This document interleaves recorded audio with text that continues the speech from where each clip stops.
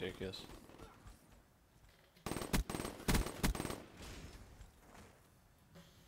They have shock charges on their flag. Hold on.